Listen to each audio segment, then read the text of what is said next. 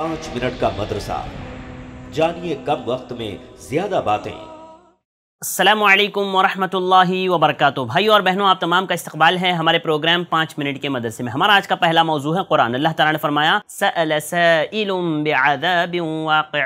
एक सवाल करने वाले ने उस आदाब का सवाल किया जो वादे होने वाला है।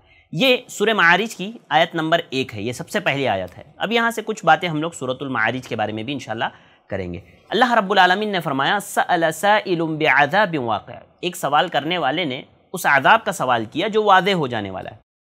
अब ये सवाल किसने किया था? इस बारे में अहल के दरमियान में इख्तलाफ है। बाज़ अहल ने कहा कि इससे मुराद नदर बिन हारिस है और बाज़ ने कहा कि इससे मुराद अबू जहल है। मामला ये है कि अल्लाह के नबी सल्लल्लाहु अलैहि वसल्लम के पास दोनों में से किसी एक ने आकर के कहा था, व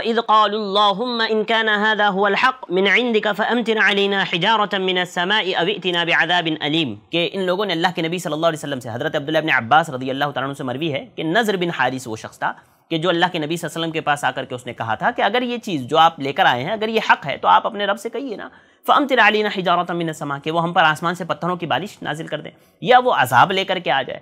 उस पर अल्लाह रब्बुल आलमीन ने आयत नाजिल फरमाई सालम वाक़। के सवाल करने वाले ने उस आदाब का सवाल किया है जो वादे होने वाला है। और बाद में कहा कि इससे मुराद रसूलुल्लाह सल्लल्लाहु अलैहि वसल्लम है, जिन्होंने जो है मक्का के मुशरकिन के लिए आप सल्लल्लाहु अलैहि वसल्लम ने बदुआ की थी। लिहाजा उसके नतीजे में अहले मक्का पर अल्लाह रब्बुल आलमीन ने जो है कहत साली मुसलत कर दी थी। और वो लोग कहत साली में वाक़ हो गए थे। लिहाजा बाज़ मुफसरीन ने कहा कि इससे मुराद प्यारे नबी सल्लल्लाहु अलैहि वसल्लम है। बहरहाल, ये मुख्तलिफ़ अकवाल थे इल्म के इस आयत के ताल्लुक से। अब इस आयत की मज़ीद बातें, मज़ीद तफसील इन हम लोग आगे के दर्स में देखेंगे। नादरीन चलते हैं हमारे आज के दूसरे मौजू की तरफ़। हमारा आज का दूसरा मौजू है सुन्नत। सुन्नत में हम लोग बात कर रहे हैं कुछ नफल रोज़ों के ताल्लुक से। अभी कल के दर्स में मैंने आपके सामने इस बात का ज़िक्र किया था कि ज़िलहिज्जा के इब्तदाई नौ दिन के रोज़े रखना, ये भी अल्लाह के नबी वसल्लम से साबित है और ये भी प्यारे नबी सल्लल्लाहु अलैहि वसल्लम की सुन्नत है। इसी तरह इन्हीं रोज़ों में से एक अजीम रोज़ा, यानी जुल्हिज्जा के आखिरी दस दिनों में एक दिन है जो बड़ा अजीम दिन है, जो बहुत अहम दिन है, जिसकी बहुत ज़्यादा फ़जीलतें किताब सुन्नत में आई हैं, वो अरफा का दिन है, योम अरफा। अल्लाह के नबी सल्लल्लाहु अलैहि वसल्लम की ये हदीस जो योम अरफा के ताल्लुक से है, जो योम अरफा के दिन रोज़ा रखने से मुतक है, यानी नौ ज़िलहिज्जा, हमारे यहाँ नौ ज़िलहिज्जा। देखिए, आप एक बात समझिए, हमारे यहाँ लोग बाज़ इस बात का सवाल करते हैं कि भाई, हम रोज़ा कब रखें? उस दिन रखें जिस दिन हाजी अरफा में होते हैं, या उस दिन रखें जिस दिन हमारे यहाँ, क्योंकि वहाँ हाजी अरफा में एक दिन पहले होते हैं, यहाँ हम लोग जो है, एक दिन बाद रोज़ा रखते हैं। देखिए, राजह जो यही है कि हम यहाँ के अतबार से अपना हर अमल करेंगे।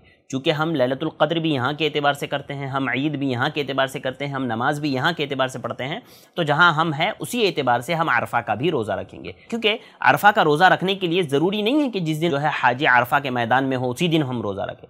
बिल्कुल ऐसा ज़रूरी नहीं है। अल्लाह के नबी सल्लल्लाहु अलैहि वसल्लम ने फरमाया, सियाम यौम अरफत अहतसिब सनतल्लती क़बलहु व सनतल्लती बादा प्यारे नबी सल्लल्लाहु अलैहि वसल्लम ने फरमाया कि अरफा के दिन के रोज़े के बारे में आपने फरमाया कि मुझे अल्लाह ताला से उम्मीद है कि ये एक साल गुज्ता और एक साल आने वाले दो सालों का ये गुनाहों का कफ़ारा होंगे। अल्लाह अकबर। एक रोज़ा और अल्लाह ताला कितने सालों के गुनाह माफ़ करेगा? दो साल के। यानी पिछले एक साल के और आने वाले अगले एक साल के अल्लाह रब्बुल आलमीन गुनाहों को बख्श देगा, सिर्फ़ एक रोज़े के बदले में, अरफा के रोज़े के बदले में। लिहाजा हमें चाहिए कि हम अरफा के दिन का रोज़ा रखें नौजिल हिज्जा का रोज़ा रखें, जो बड़ा फ़जीलत वाला रोज़ा है, जो बड़ी अहमियत का हामिल है ये रोज़ा। अल्लाह ताला पिछले साल और अगले एक साल के गुनाहों को अल्लाह ताला माफ़ कर देते हैं, जो गुनाह वो गुनाह जो सगीरा होते हैं, क्योंकि कबीरा गुनाहों के लिए तोबा शर्त है। तो अज़ीज़ भाइयों, ये चंद बातें थी जो मैंने आपके सामने रखी। उम्मीद करता हूँ मैं और आप ज़रूर भी ज़रूर इन बातों पर अमल करेंगे। अल्लाह ताला मुझे और आपको इन बातों पर अमल करने की तोफ़ा फ़रमाए। आमीन। मुझे दीजिए इजाज़त। असल वरहमल वर्का